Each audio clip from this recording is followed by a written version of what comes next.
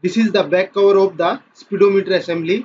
So this back cover is made up of 40% talc filled material. TFPP means talc filled polypropylene. This is the 40 percentage. In this 40 percentage is talc filled and PP means polypropylene. So generally we use this material for the back cover. So this is the tooling feedback we get from the tool room. So in this you are able to see this is the parting line of the back cover. This red color line showing the parting line of the back cover.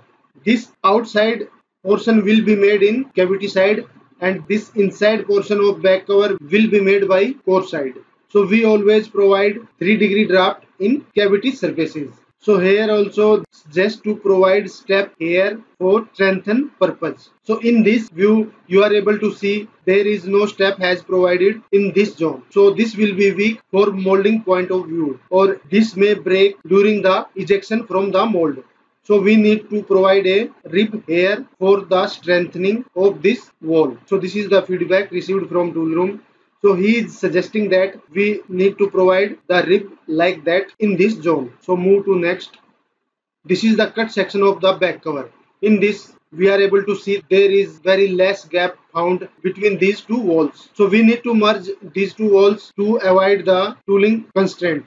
So I will show you in 3D model where is this gap this is the back cover 3d in this you are able to see if we cut a section in this plane then this gap is very less between these two walls so i will show you